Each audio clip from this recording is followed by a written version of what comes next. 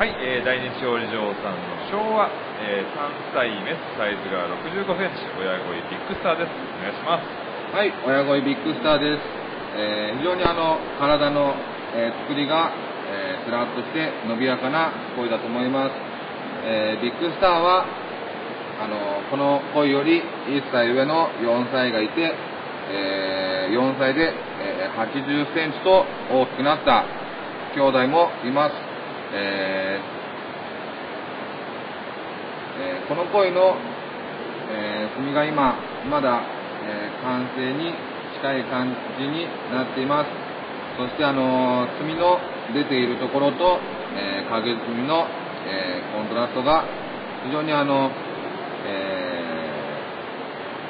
ー、魅力的な墨だと思います。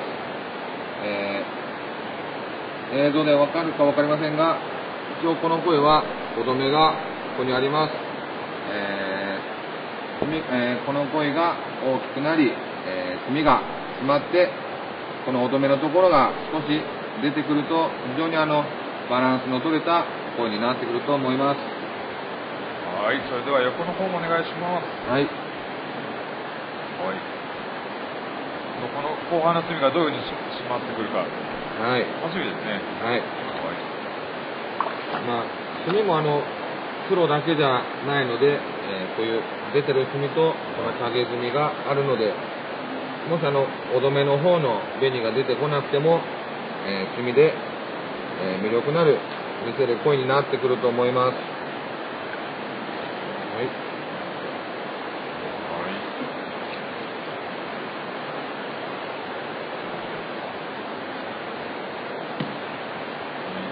なんといってもこの豪快な墨が魅力な声ですね。はい。まあ、本当にあのー成長のいい、あのー腹なので、えー非常に大きくなって楽しめる声になると思います。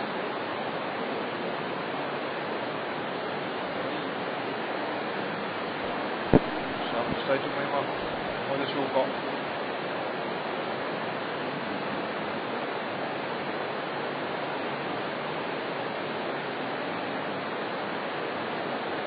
はい、ご覧いただけましたでしょうか？こちら大日王子城さんの昭和3歳メスでサイズが65センチ、親鯉ビッグスターです。